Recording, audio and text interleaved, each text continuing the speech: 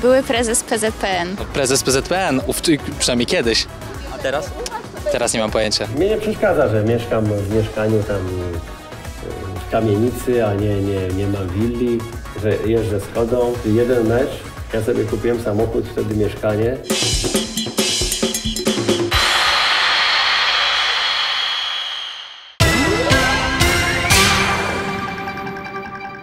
Czy panu brakuje prezesury w PZPN-ie? Bo wiadomo, to jest ten licht, to jest blask fleszy, natomiast teraz... Na początku mi brakowało, nie ukrywam, nawet było, o co za bramka dziś niego, cholera.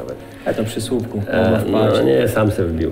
E, brakowało mi nawet takie pierwsze, pierwsze miesiące po odejściu, to były naprawdę dla mnie ciężkie, bo przychodziłem do PZPN nie mając powodu i nawet dziś Okręcina, który wtedy jeszcze był sekretarzem po, po moim odejściu, no tak mówi Michał, no ale musisz sobie zdać sprawę, że już nie jesteś prezesem, tak? Więc y, wstawałem rano nie miałem co robić i tak blisko było tego BZPN-u, bo mieszkam niedaleko i tak przychodziłem się tam herbatę wypić, pokręcić, no dopiero po jakichś dwóch, trzech miesiącach tak jakoś Odnalazł się pan w nowej rzeczywistości? Natomiast y, no ja ciągle uważam, ale to jakby zrobiłem głupstwo straszne, zresztą yy, żałuję, że się dałem wypuścić Ryszardowi Niemcowi, który mnie do tego namówił, mm, że zrezygnowałem z prezesury honorowej, ponieważ na tym zjeździe, na którym wybrano Grzegorza Lato, yy, był wniosek o przyznanie mi tytułu prezesa honorowego PZPN-u. I atmosfera była taka, żebym dostał, bo już ludzie podnosili ręce w górę.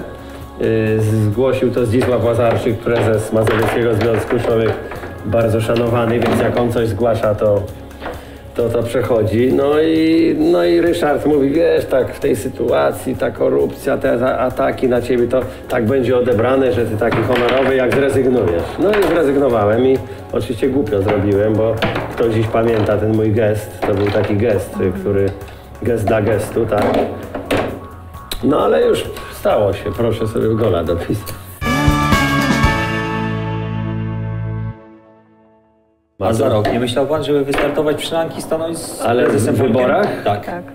Znaczy nie, no, na, na pewno nie na prezesa, ponieważ to ja wiem, że, że, że to nie jest prawda, że się nie wchodzi dwa razy do tej samej rzeki, bo rzeka płynie i, i to już nie jest ta sama rzeka, ale nie sądzę, żeby, była, żeby to było dobre dla, dla polskiej piłki i dla mnie. Ale jakaś funkcja inna, czemu nie? No właśnie, bo pan kiedyś powiedział, że jeszcze w PZPN-ie ostatniego słowa pan nie powiedział. No tak, ponieważ e, no, prezes Boniek po, po wyborze go na prezesa e, stwierdził, e, że, że właściwie to wszyscy wiemy, że Michał mógł, powinien być dożywotnim wiceprezesem zagranicznym PZPN-u, tak? No ale jest tu jakaś inna koncepcja, jest Marek Koźmiński, okej. E, Zresztą bardzo, bardzo fajny człowiek i, i bardzo się z Markiem lubimy. Ale takie rozmowy no, państwo ale, ale, tak? ale gdyby ktoś, gdyby czy to prezes Boniek, czy ktokolwiek by nie był nowym prezesem i zaproponował taką funkcję, to na pewno bym nie odmówił. Ale rozmawialiście, tak? O tej funkcji prezesa do spraw zagranicznych, wiceprezesa. E, Z, z prezesem Z prezesem Bońkiem? Bońkiem. Nie, nie, no ja rozmawiam, że rozumiem, że musi być nowa ekipa i że się zgadzam, że, że nie będę tym prezesem. Panie, prezes, Szkoda trochę. panie prezesie, jaka była najbardziej przykra sytuacja, jaka pana Aj. dotknęła, gdy był pan prezesem PZPN? Przykro było, jak mojemu synowi dokuczano w szkole. E, e, I żonę raz na ulicy tam jakoś no, nie- wulgarnie potraktowano słownie. Natomiast mnie się... Nie, raczej, raczej mi się nie zdarzały takie gry. Na pewno w sędziowaniu mi się kilka razy zdarzyło, to w dawnych czasach, bo ktoś przegrał, bo coś. Natomiast tu nie. Natomiast były ze strony polityków takie no chamskie wejścia w telewizji, jak pan Palikot z tym świńskim ryjem, y, czy, czy jacyś ludzie, y, którzy w ogóle nie, nie wiedzą po ilu się gra w piłkę nożną, się wypowiadali, że trzeba tam czyścić PZPN, posłowie różnych wielcy Gowin i tak dalej. No ale Wszyscy naprawiali piłkę nożną po to, żeby, żeby pokazać gębę w telewizji i zrobić się dobrze. Jestem potwornie zmęczony, żona wiedziała, że jestem wypluty. Nawet, nawet y, mogę teraz to zdradzić, że żona powiedziała, że jakbym znowu startował na prezesa w 2008 i został tym prezesem, to może nasze małżeństwo by się rozpadło wtedy, bo taka była dość dramatyczna sytuacja.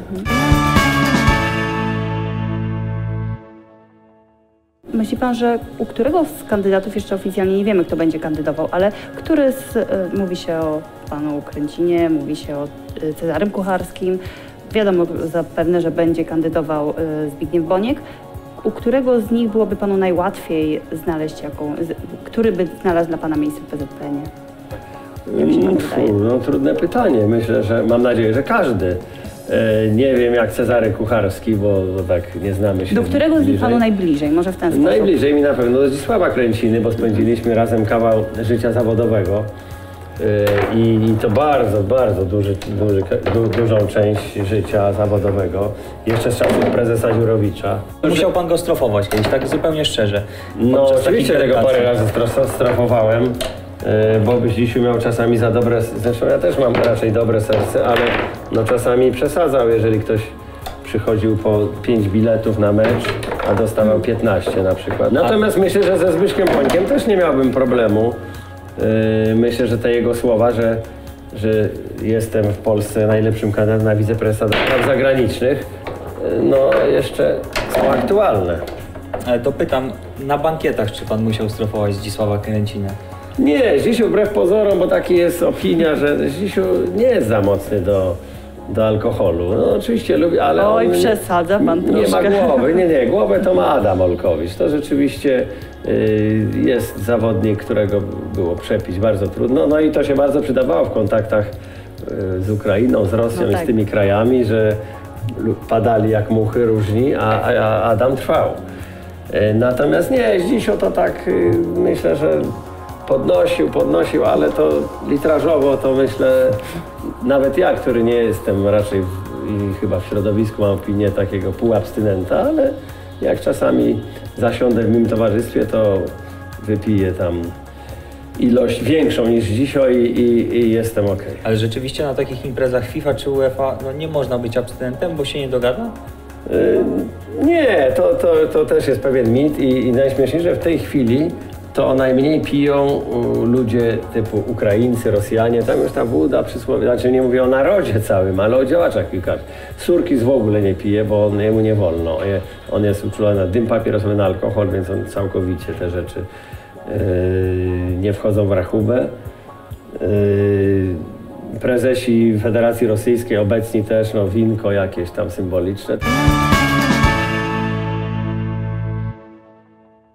Pan Kazimierz Górski na przykład, który przysłowiowy koniaczek, yy, jeden, drugi, czasami trzeci, no ale zawsze, zawsze to był człowiek, który nie przekroczył nigdy pewnej granicy, wiedział kiedy trzeba przestać, zawsze był czarujący, czasami właśnie te swoje dowcipy, te swoje lwowskie równe wspomnienia zaczął opowiadać, ale miał taki sposób, który nikt w to nie wierzy, ale ja mam świadków, że to, to, to jest prawda i chyba drugiej osoby na świecie tego nie ma takiej, która miała taką cechę, jak pan Kazimierz miał.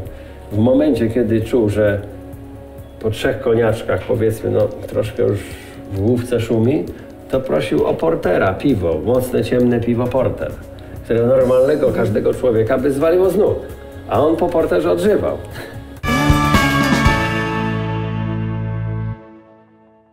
Jak pan się odniesie do tego stwierdzenia, że to nie Fryzjer był głównym sprawcą korupcji, ale siatki PZPN? Nie, to bzdura. Y, PZ, nikt z PZPN-u, no poza in, jednostkami, natomiast system PZPN-u, y, no, no, nikt z PZPN y, kogo miał korumpować? Co, czy sędziego na meczu reprezentacji Polski? PZPN z tą korupcją klubową no, nie miał nic do czynienia, poza tym, że miał kilku ludzi, którzy no, dali się wziąć na lep i to tak jak z tą FIFA, że byli we władzach FIFA, ale złe rzeczy robili nie, nie na zawodach FIFA, tylko na Copa America, na jakichś tego typu meczach i tak samo tutaj. Natomiast y, może i dobrze się stało, że ta korupcja wybuchła, ponieważ przepisy, które wprowadziliśmy, antykorupcyjne, wtedy po wybuchu tej afery, nazwijmy ją fryzjera, no są do dziś chyba najostrzejsze w Europie. Selekcjonerem Adamem Nowałką już pan się pogodził? Tak, my zatem się bardzo lubimy. Tam jakieś były chyba takie dąsy, że ja tam wspomniałem o takiej zabawnej sytuacji z łaźni na Węgrzech, ale y, no może, może nie powinienem, ale, ale to było zabawne zdarzenie i ja chciałem pokazać raczej jaka atmosfera w drużynie pan- panowała, że jak tam y, Adamowi jacyś panowie o odmiennej orientacji tam okazywali zainteresowanie, no to Janek Tomaszewski z grupą z ręcznikami ruszył i ich przegonił. I to było bardzo, bardzo fajne. Y, Natomiast nie, z Adamem bardzo zawsze się wyściskamy, zawsze się wy, y, wygadamy.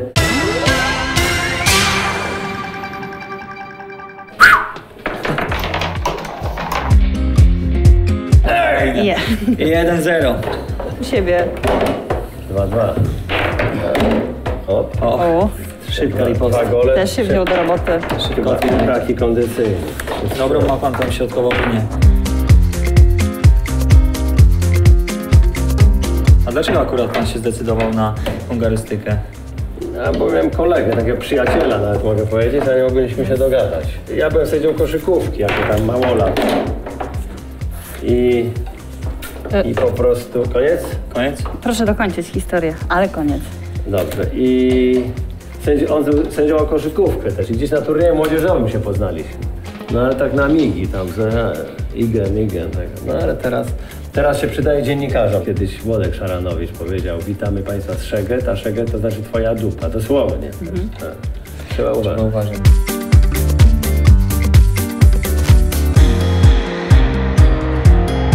Może pan się z nami pożegna po węgiersku. Eee, no ja szívesen. Nagy öröm volt számomra itt találkozni, és üdvözlöm mindenkit sok szeretettel. Mamy nadzieję, że nas pan nie obraził. Dziękujemy bardzo. Dziękujemy Dziękuję. uprzejmie. Dzięki, do widzenia. Dziękujemy bardzo. Dzięki, dziękuję. Dziękujemy.